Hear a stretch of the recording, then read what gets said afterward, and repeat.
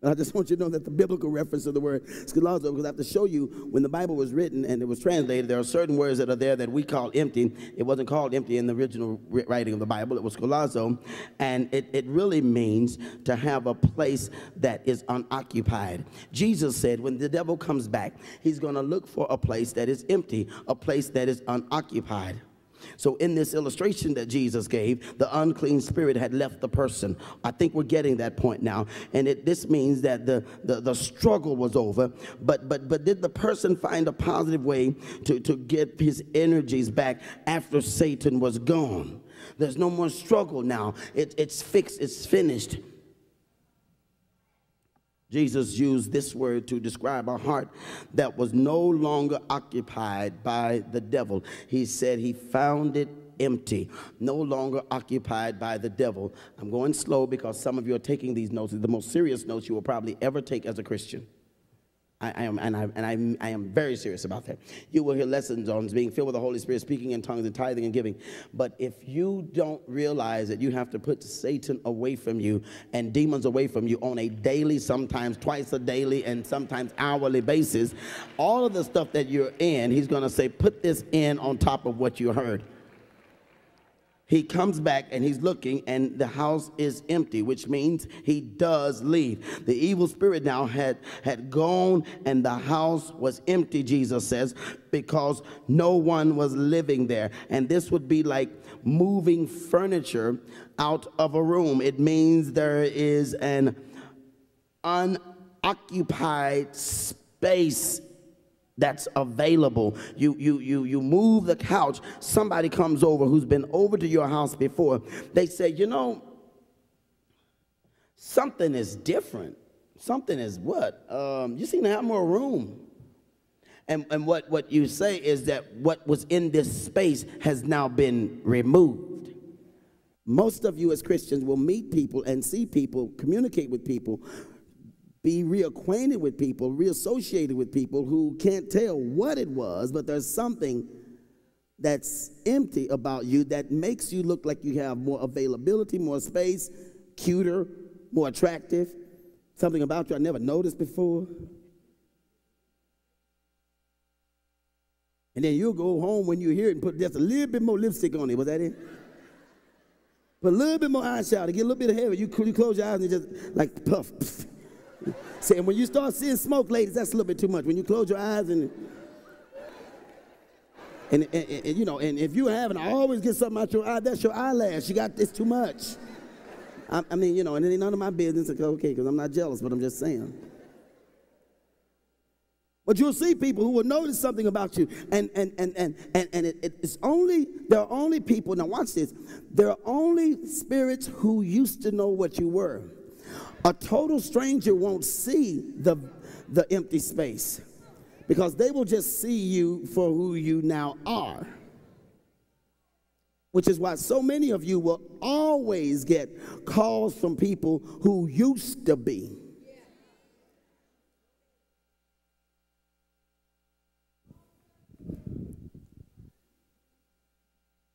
Are we, are we still okay? So now, if we're looking at this from a biblical point of view, somebody said an idle mind is the devil's workshop. So if, if there's nothing there, it seems that when the mind is not activated with positive spiritual things, I'm gonna try to do this real quick with this bag. I'm gonna, okay, here, here, here's the deal. Here's the deal. Here's the deal. Let's let me show you. I'm gonna try to show you. Okay. Here this this is this is your mind. This is your mind filled with crack. Now I just a commercial. It came back. I'm sorry. It didn't have anything to do with the sermon. Strike it. Well, this is your mind filled with stuff. Now, now, you say Satan. Let's just let's just do it like this for a better illustration. You say Satan. You say Satan no, I'm just. oh, you about paying attention pretty good tonight. That is an IBOC trademark right there. That's what we do. Okay, but anyhow, there would be a situation in which you might, in your mind, in your mouth, you would you would tell Satan get out. So when you tell him to get out, see, he's gone. And now your mind is what? It's vacant. Unoccupied. Now, it looks really, really, really, really good. Now keep your focus on that, on that empty suitcase, which is you now without the demons that were upon you. That's like now a space waiting to be filled. Now, when the Holy Spirit is not invited to fill our heart, there is another space for the devil to what? Return. But this time, when he comes back, he realizes it may have been easy to put him out of here. So the Bible says, because you didn't fill it with anything. I mean, you've been coming to church, but you've just been looking at me.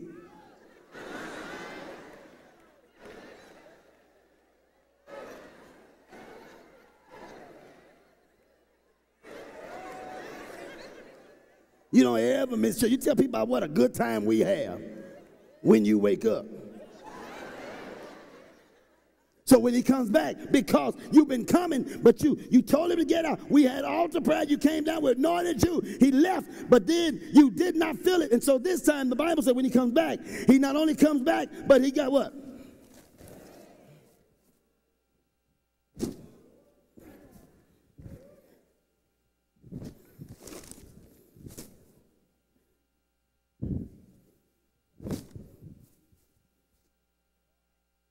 And the sad part is, he's not going to always close it up. Mm-mm. Now he wants to expose you. Now he wants everyone to see just how filthy everything is about you. Why is this like this? Why is this like this, young Christian? Because there's some older Christians that are going to rebel and fight with me. I don't believe. Okay, fine. But some of you that are young Christians right now, why is this like this? Because when you put him out, you didn't fill it with anything. Do you realize you're never going to get a fight for Satan until it's time for you to go into a place where the word of God is going to be poured into you? Satan will never fight you about going to church, but he will try to kill you about going to a church where you're going to be filled with God's word. He is not against church, he loves church. But where you're going to be filled. See, once you, and that's why, but before you even get out of your car at church, you say, Satan, in the name of Jesus, I cast you out of my thoughts, my mind. And you walk in church every Sunday. You got to walk in like this, man. Before it's time for the word, you got to walk in like, and I don't care who you are, you got to. I do it. I don't care how good the day is. It has nothing to do with how good the day is. It has everything to do with how strong demons are because something is about to be poured into you that you need to store and lock in for next month. That needs to be a habit. When that comes, you got to you you you real quick, real quick. Before you you got to start just filling it with you know, just just God's word, just just you get you get the point. Right? And, and, and it becomes so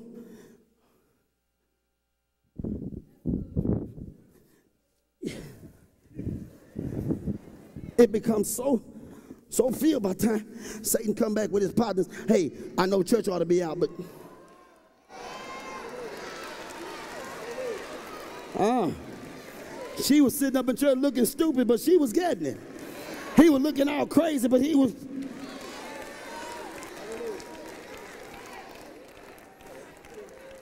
And then what's going to happen during the week? Somebody say, Can I use your flour?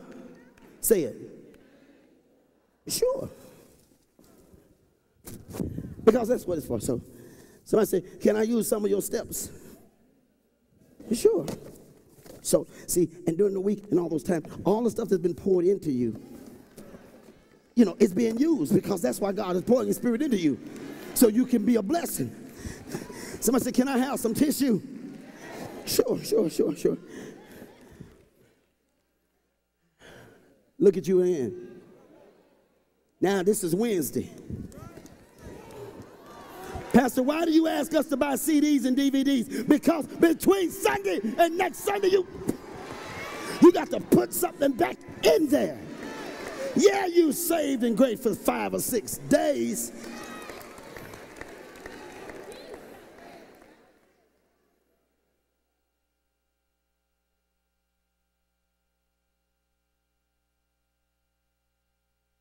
Are you listening to me? That's the scenario. A person must take the initiative. Once you tell Satan to get out, now you must be strong enough within yourself to hang a sign that says, I ain't available, fool. I am not available. You got to walk around. I don't care how ugly it looks. You got to, your sign won't be neat because you've been crying. Your sign won't be trimmed all out. It may not have the right border. It may not have the right colors. But as long as you have it on, Satan said, Oh. So you got to wear your sign.